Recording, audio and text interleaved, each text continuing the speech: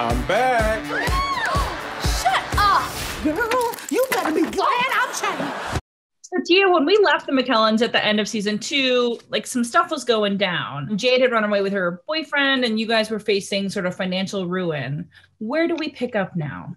Well, you'll definitely uh, see the McKellans continue to go through some sort of financial uh, issues.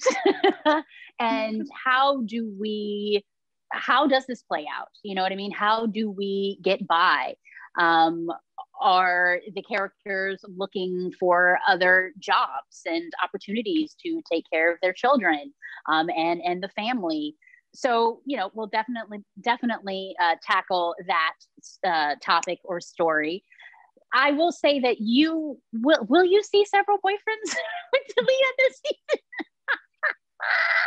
know she's young she's a teenager you know i'm that mom that's just like explore, enjoy, have fun, you know, but no, but the dad's like, no, no, no, no, no. So yeah, I mean, you'll see, uh, you know, Jade's character Talia go through um, growing pains, should I say, especially with with dating and and how you continue, how you should value who you are, and and that's what's more important than you know trying to please, you know, others and and someone someone else. And then Loretta, you could talk about, I guess, some really cool musicals and stuff that we are doing, right?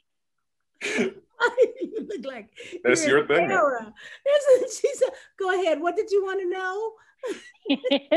that I mean, I like love what's going on with the season. Yeah. I'm sorry, Loretta. You just say it so well and so beautifully. oh, she's bossy. Okay, so third season. Is what we have going on in the house at the family.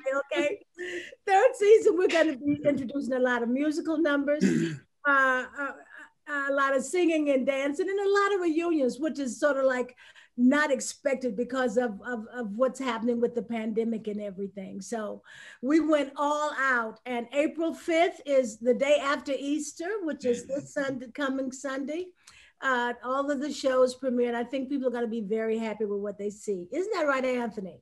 Oh, they're going to be very.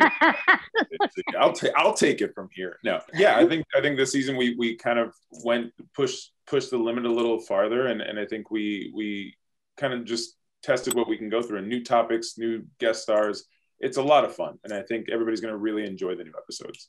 You know, there's some really amazing guest stars this season. Um, Tia, for one, I think you really made a, a meal out of your C by Cocoa, like your housewives sort of experience there. Who are you guys really excited to have to have on the show? My brother Tahj Mowry. He he guests on the show and he did a great job. Anika Noni Rose, uh, she was my Lorrell from Dreamgirls. Yeah, uh, Willie Gault. I thought that was great. We did an episode with him, and he's a legend. So it was great to have him on. And everybody together. Tia's brother. Did you say him? I did. I did. I did. We're gonna be okay. Woo! Thank you, Jesus.